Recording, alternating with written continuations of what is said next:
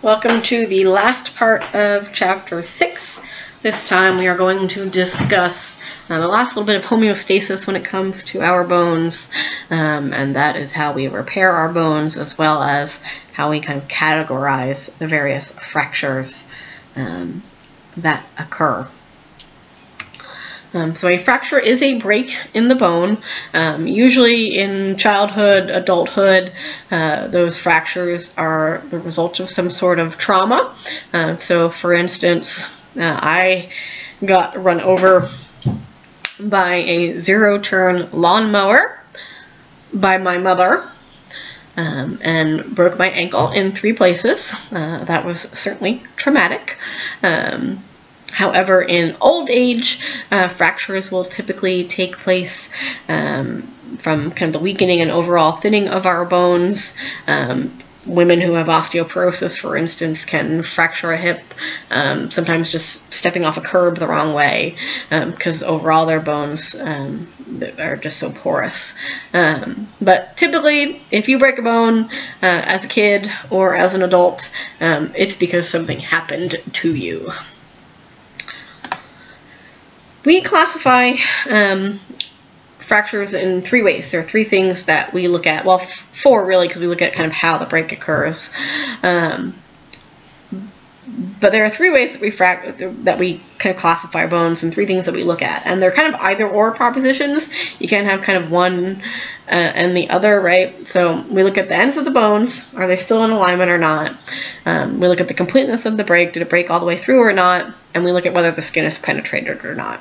So you can never have like a displaced non-displaced fracture. It's either one of those or the other. Can't be both. Um, if the ends are still in their normal alignment that is a non-displaced fracture. If the ends are out of normal alignment, if they no longer kind of meet, then that is a displaced fracture. If the bone is broken all the way through, you have a complete fracture. If the bone, the bone is not broken all the way through, you have an incomplete fracture. If the skin is penetrated, you have an open or compound fracture. If the skin has not been penetrated, then you have a closed or simple fracture the kind of fourth way that we classify bones as kind of how they occurred, um, kind of the, the type of fracture that has occurred. Um, so comminuted fractures um, are very common in the elderly. Um, usually is, this occurs when the bone breaks into kind of several pieces. Um, because elderly bones are more brittle, they do tend to kind of break this way, um, almost like if you've ever taken um, a really, really old, old kind of dry stick that kind of just collapses under itself, that's a kind of comminuted fracture. Compression fractures occur when the bone is crushed, um, very common in osteoporotic bones. Um, think about uh, like a crushed vertebra. If you've ever seen like a car compactor, when it smushes down and flattens the car, that's kind of a compression type fracture.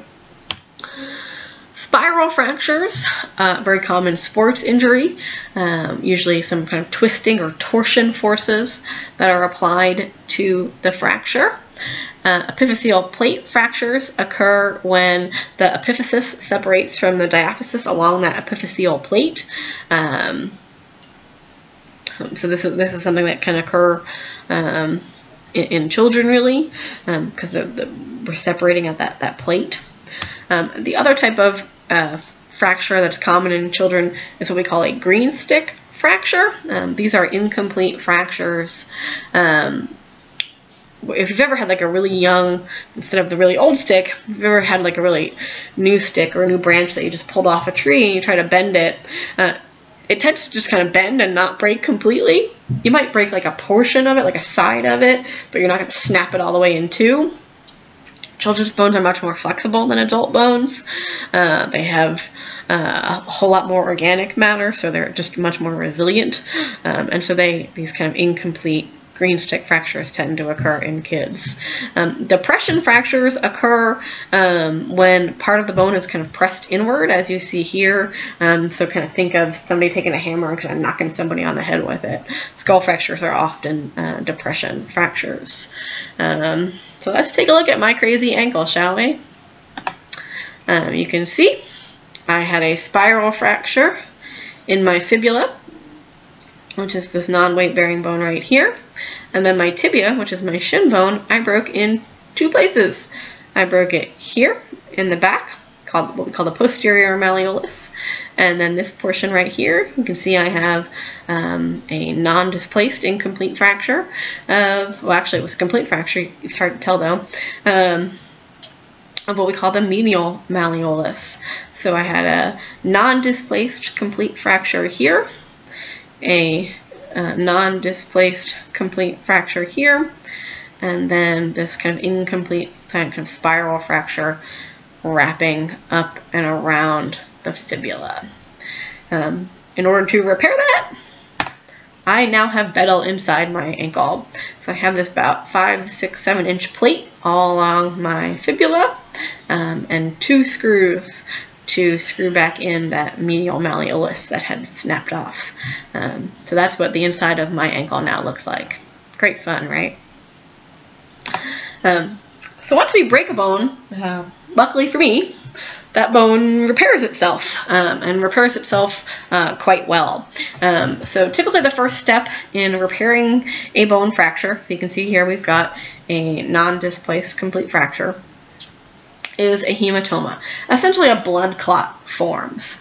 Um, the bone has broken, the blood vessels have broken, so the blood kind of spills into the surrounding tissue, um, and we get the hematoma forming.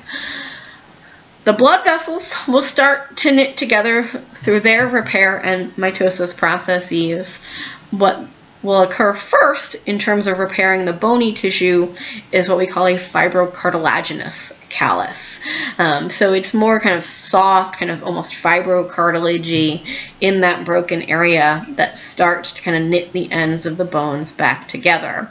Once the blood vessels have fully healed and are complete, then we get oxygen and nutrients and immune cells and osteoblasts, and we'll start to lay down um, our kind of spongy bone again, and we get the formation of a bony callus. Um, the bone will completely heal. Uh,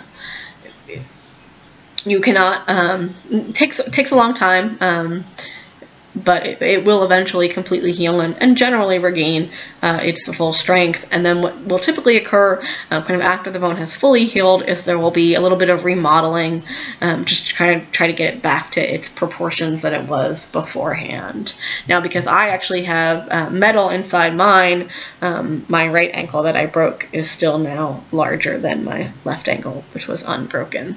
Uh, but it's not so much due to the repair of my bone as it is to the presence of the metal plate and the metal screws.